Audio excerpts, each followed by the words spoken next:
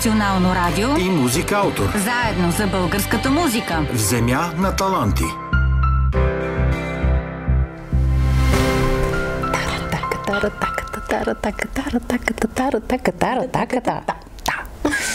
Ние сме в Земя на таланти и днес още един талант гостува на нашето радио. Това е Тихомир Георгиев. Не случайно така започнахме разговора с тази закачка музикална, защото днес ще говорим за точно това произведение. Таратаката. Нали така, правилно ли го казвам? Таратака. Добре, както виждаме, може варианти. да. да, става и в размери. Ние с Линчето го пробвахме, така че има варианти. А, нека да те представим първо на нашите слушатели и зрители. Кой е Тихомир Георгиев? Ами, Тихомир Георгиев е честно казано, сега като се замисля, може би предимно ваш колега, защото доста дълго време съм работил в различни радиостанции като музикален редактор и водещ на музикални предавания. И тък му по този начин се запознах с колегите от Бисквитките, група, която създадохме още в средата на 90-те.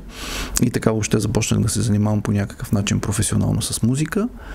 След което по а, някакви причини. С времето групата претърпя някакви метаморфози, прекъсвания, събирания, нови членове и в крайна сметка аз останах да движа проекта, като каня за участие различни фолклорни певици, професионални, непрофесионални.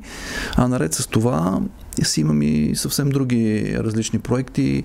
Чисто електронен хаос проект под името DJ Tissue, който се издава през германска звукозаписна компания и много често попада в различни европейски класации. Различните сингли, разбира се.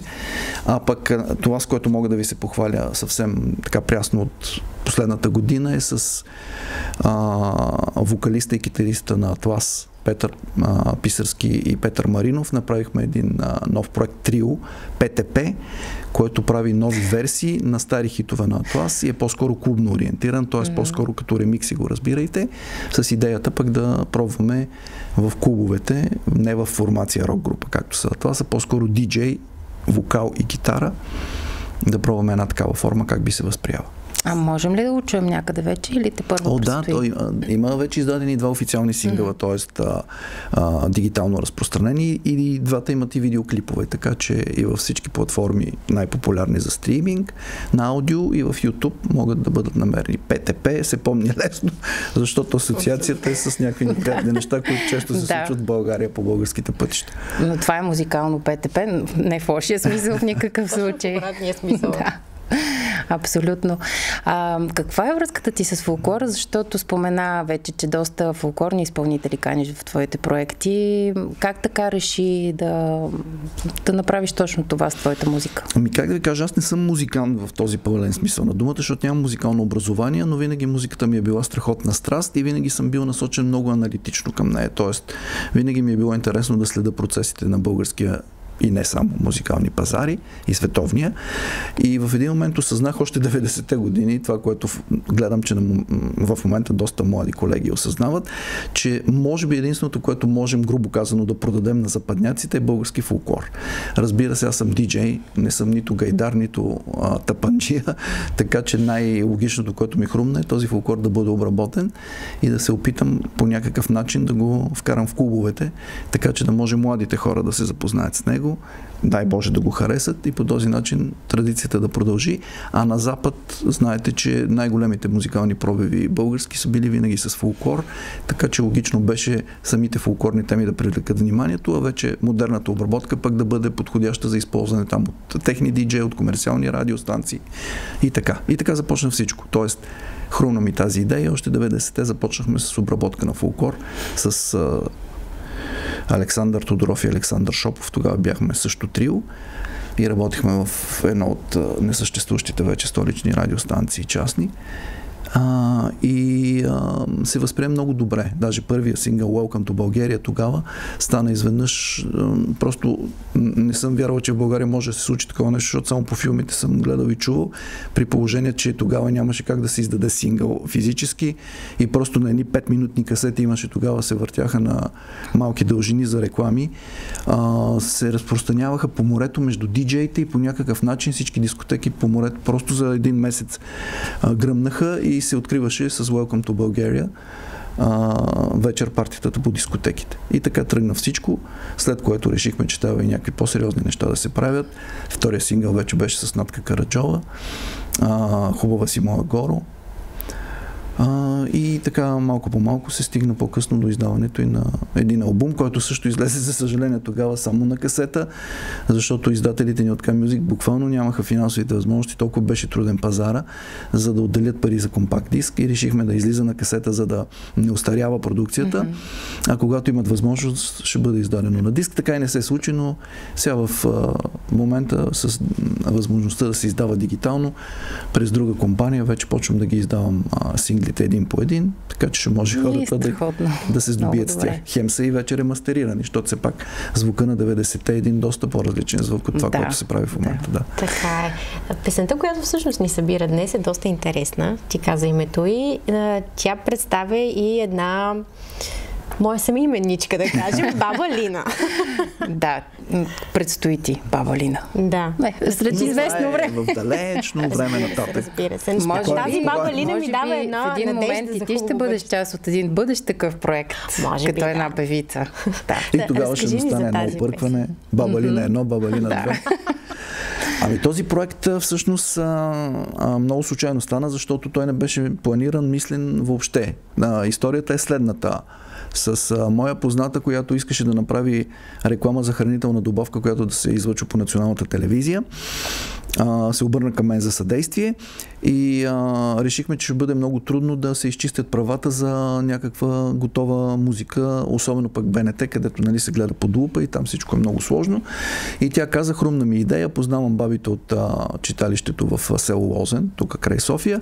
Една от тях ни е приятелка, ще я поканим просто да изпее една а, песен, песен на капелно, а, такава от техния репертуар и а, целият клип ще бъде как бабата разказва приказка на внуците си и някак си този фон ще подхожда отдолу, защото нали, балата е в кадър с носията, децата са около нея, тя им разказва някаква приказка и отдолу върви нали, нейния глас вече като а, певица. И го записахме и аз в един момент ти казах, а, попитах, а, искаш ли да пробваме да направим това песен, защото според мен може да стане.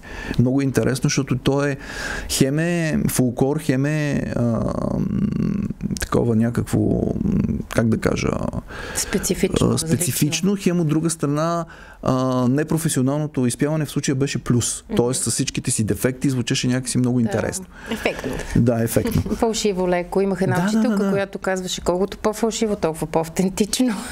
така че може би... Ще ви доведа един човек да си поспорите за аутотюна. Има ли място в нашия живот или не? Да. Че с нощи го водихме този спор. А, и а, всъщност продуцентката, един вид моята приятелка Катя, се съгласи да пробваме. Така създадох първата версия, тя го хареса, решихме, че може да бъде популяризирано и направих още няколко версии, за да бъде сингъл, защото така или иначе пак трябваше да се издава през а, германска звукозаписна компания, DMN Records и а, стандартите там са такива, нали? за да бъде сингъл трябва да има и ремикси и версии. И така се роди тази идея и така се разви. В същото това време Autor обявиха поредна сесия на културния си фонд за подпомагане на националното наследство и аз кандидатствах и беше одобрен проекта и това много ми помогна, за да може от една страна нали, да си довършиме каквото има да си довършваме, там и като видеоклип и, и като звукозапис, а от друга страна да пусне един малък тираж на компакт диск, колкото и символичен да е, с ясната представа, че няма как да се продава, особено пък сега в България, но все пак да има този физически носител, било то за журналисти, било то за медии, да може да бъде разпространено по този начин и да се вижда, че това наистина е сингъл, а не е просто песен с видеоклип. А, и тази помощ а, беше добре дошла, страхотна която тогава ни оказаха мюзикалтори. За щастие продължават да оказват до ден днешен. Всяка година има сесия, кандидатстват много изпълнители в различни стилове и много от тях получават такава помощ. Така че тази инициатива да. е страхотна и, и проекта по този начин видя бял свят и стигна до хората. В лицето си на диджей е да обработваш много различни стилове. Какво е да обработваш фолклор? Да, да му сложиш нови дрехи, така да кажем. Да. Значи с фулкора, как да ви кажа, ние в началото почнахме, когато започнахме въобще 90-те години, по-скоро ам, идеята ми беше да ам, ползваме различни фулкорни инструменти. В случая гайди на първия сингъл, българският тъпан ми се стори, че ако се запише по определен начин и дообогати, би бил много интересен, защото тогава вървеше една вълна с а, такива едни а, латиноамерикански диджей правеха а, парчета с много техни латино перкусии, бяха много модерни, а, идваха от Бразилия, от Аржентина и аз казах, добре, но той българският тъпън много прилича като звук, би трябвало такива парчета да имат някакъв успех. Между другото, тогава този сингъл, защото той пък беше разпространен от една холандска а, независима компания Toco International в 35 държави, те оттам ни казаха, че най-добре се е приел в Латинска Америка и там се е въртял по радиостанциите, така че явно пък чисто като темперамент имаме нещо общо с тези хора. Доста Да. общо, да, наистина. Та в началото бяха по-скоро фолклорните инструменти и в един момент нали, малко бо- боязливо пристъпихме и към гласовете, защото все пак гласа си е глас. Там е една по-финна работа. И сега в момента, ако ме питате, предпочитам да обработвам гласове, отколкото, защото там гайдите, кавалите, те са ясни, те нито са толкова трудни да, се, да им се намери място в аранжимента, звучат си специфично, могат да се семплират лесно, но гласовете там е предизвикателството и ми се струва страшно интересно и, и си заслужава човек да отделя, време и енергия за подобно нещо. И добре се получава. А как се работи с фолклорните изпълнители? Ами, а, значи, специално за баба Лина, на която искам да благодаря, тя беше като, а, как да кажа, като войник, толкова дисциплинирана, просто влиза и се казва, ето ти микрофона, пей, и тя започва и си изпява жената веднага всичко, стои, чака да й се каже, ще пее ли пак, няма ли да пее, да седне, да стане. Баба Лина знае ли, че е в класация? О, да. Даже И? ние сме представили тук в Как предаване на БНР, Смисъл? имаше включване по телефона. Еми тя в началото според мен не се вярваше на жената и не можа много да осъзнае, нали, като и се каза, че е влязла в някакви там швейцарски и други класации.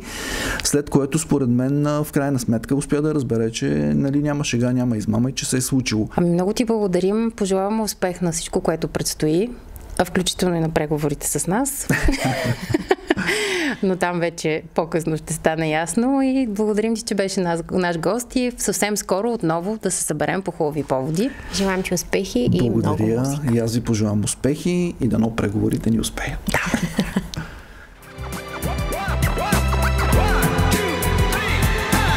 Българското национално радио и Музикаутор заедно за българската музика. в земя на таланти.